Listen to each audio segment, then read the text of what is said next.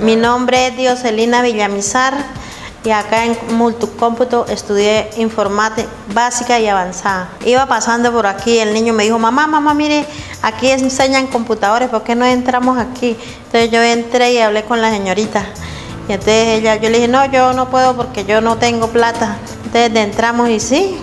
Yo le dije, yo no porque yo estoy reportada. Me dijo, haga chulito que, aquí le sale la, la cota. Entonces sí, me, me pasó los papeles y sí, me aprobaron.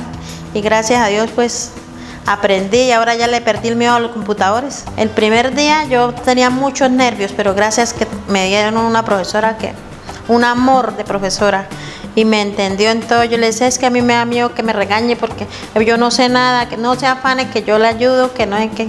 Y gracias a Dios, pues sí, me fue bien y aprendí. Mi familia no, no eran creyentes que yo era capaz de aprender a manejar el computador, pero mire, les demostré que sí se puede. En mi vida ha cambiado mucho porque yo ahora tengo amigos, puedo chatear, puedo hablar con mi familia que anda lejos de aquí, Bucaramanga.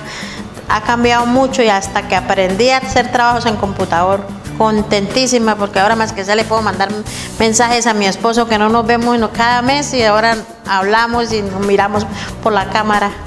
Yo invito a todos para que vengan a, a multicómputo porque así como de pronto yo tenía miedo, todos podemos salir adelante.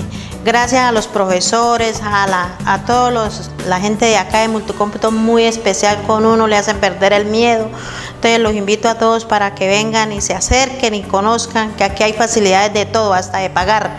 Porque yo llegué sin un peso y me aprobaron un crédito en menos de nada. Yo le doy muchas gracias a Multicómputo porque gracias a Dios yo me recuperé, aprendí, perdí el miedo y ahora me siento feliz y contenta porque sí pude salir de ese, de ese drama que tenía de los computadores.